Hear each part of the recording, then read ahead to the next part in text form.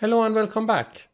In the previous video, we went through the calculation of one beam supported by rigid connection to both ends and under a harmonic load in the center.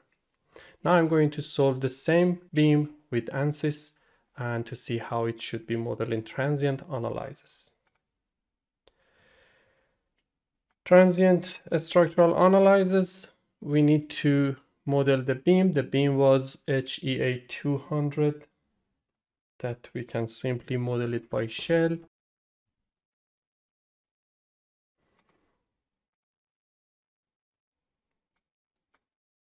We can fill this and typically I prefer to bring the section to the center of the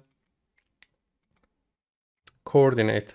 So you just need to bring it here. I can deactivate this part. You can also change the color if you please. And in two directions, we are going to have to pull the surface in two directions, totally five meters. This is a solid, we need to change it to shell element. You can just simply select this part and then you have it. Again, I come back to the model.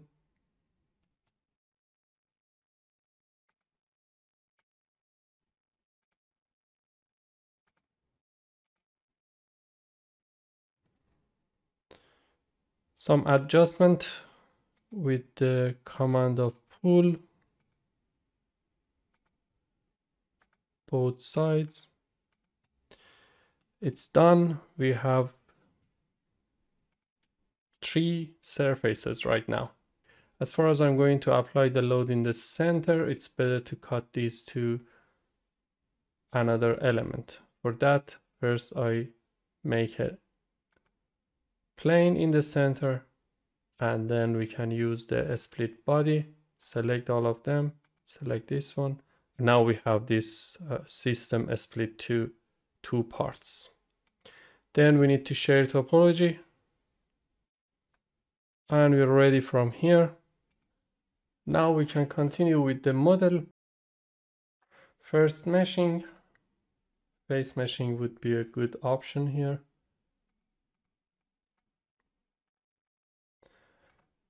The size 50 millimeter might be quite enough. Here we have the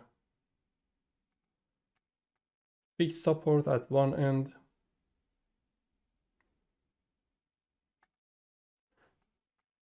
The other end as well. And also I'm going to apply a load on this line which is a remote force. And it's in y direction and it should be as a function. So here we can write down minus 981 newton times sinus it was 20 radian per second. As far as we are in degree we need to change this value to degree. So times 180 divided by 3.14 times time. And here you can see how it looks like. Then we need to have the steps two seconds might be quite enough and here we can go with sub steps we can go with 100 it's not taking so long. I'm going to not to use the second order effect for the decay i use zero and damping is also zero. We can just solve it and check the results some differences might be there because we use the uh, moment inertia directly from the table. Here the shell elements are connected together and they are forming the, the section and for example the root effect is completely neglected in this calculation. Directional deformation in y direction and then we can check the results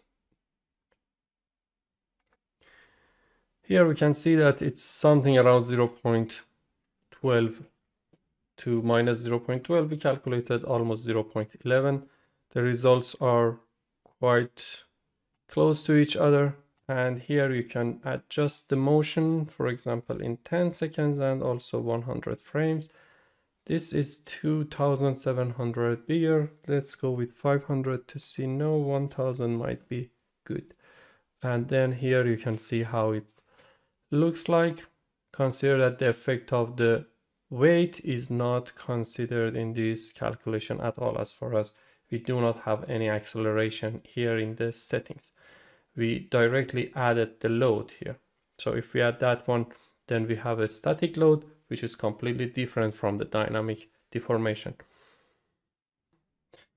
Now we can also compare with what we had. Here is our calculation uh, for the same problem, same question.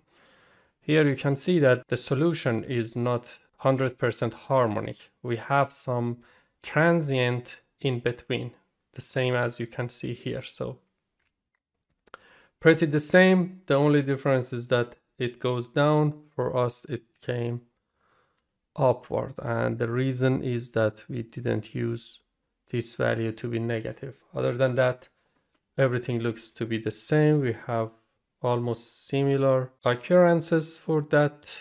And that's all. That's the end of this example. We modeled the same beam with uh, ANSYS and we compared the results. I hope you enjoyed and thank you for watching. See you next time. Bye.